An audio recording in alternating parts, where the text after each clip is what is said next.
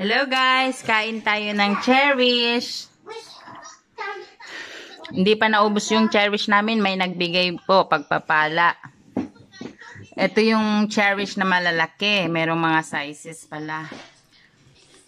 Ito rin yung kahapon na kinuha. Yung kinuha ko sa kapitbahay namin. Ganito siya kaliit. Ito naman guys, yung binigay po kanina, ganito siya kalaki. May iba't ibang uh, sizes pala ng mga cherish dito guys. Yan si Stepan, favorite niya kumain ng cherish.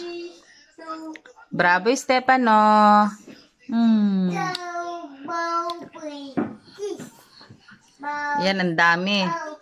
Season ng cherish dito ngayon guys. Kaya ayan. Maraming cherish dito sa Bulgaria. Meron kami ding cherish pero hindi pa siya nabunga.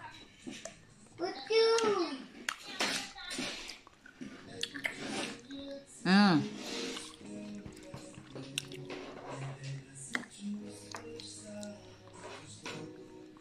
Kain tayo guys ng cherish.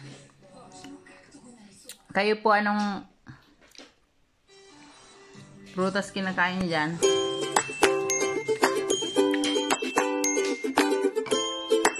Stefan. Ito ang anak kong kulot. Pogi. Pogi daw. Oh.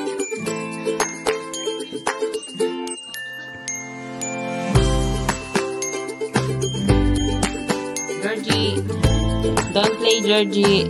Kasi si, si Georgie, hindi siya nakain ng cherish. Piniplay niya lang.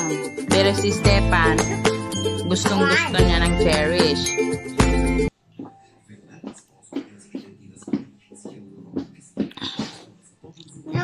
Tomato.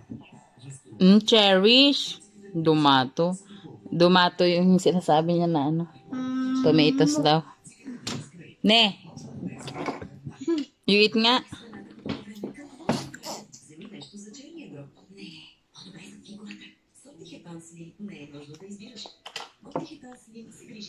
Naalsuman. Asim? Sour?